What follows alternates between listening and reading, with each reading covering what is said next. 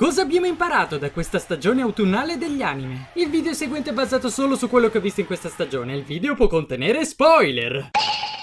Che se ti manca la forza bruta è il momento di usare il cellulare e tirargli in testa un Nokia 3310. Ma nella prossima stagione. Che se tuo fratello è un cocciuto traditore con i capelli platinati, vola a una velocità supersonica e tiragli un pugno in faccia che sei una buona trama, una bellissima opening e dei bei disegni, ma un protagonista testardo che non matura per niente durante l'anime, non ci puoi fare niente. E se vuoi andare a fare qualcosa nella vita, devi essere raccomandato. Che se eri contento della mancata apparizione di Asuna fino ad adesso, eccola qui arrivare in versione Gesù! Che se devi fare il sangue a volte bianco e a volte rosso, allora la sbo... Che la tecnica del denudamento trasmissivo è una cosa abbastanza interessante. Che se non sei pronto non puoi combattere finché non sei ready perfectly.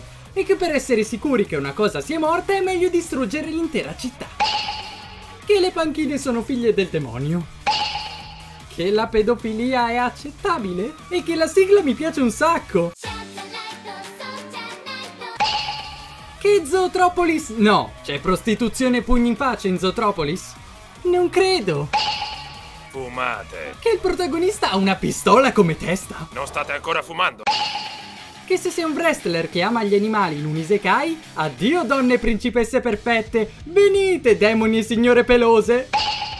Che se siete un gruppo di prodigi e volete abbattere un cattivo, basta usare l'atomica. Forse. E se avete avuto successo con la prima stagione, buttate 9 episodi su 12 nel cesso e fatene buoni 3 nella seconda. E tutti quanti l'apprezzeranno. Forse. Che se tu hai venduto la tua anima a un demone, non è poi così male. Che se il suicidio diventa legale, beh, sono cazzi. E che le donne sono terrificanti. Che un isekai praticamente succhia le tette più grosse. Che se guardi un anime di soft tennis non puoi aspettarti. Per la miseria gli ha appena versato dell'acqua bollente addosso. Che per essere un vero investigatore devi lavorare in un locale con uomini travestiti. Che se sei un bel isekai ma hai una salute cagionevole, ti fileranno in pochissimi. Che l'altezza non conta, almeno che tu non diventi un nemesis gigante. In quel caso sono cazzi. Che è un hentai XL. Ah! Sven, aspetta un attimo.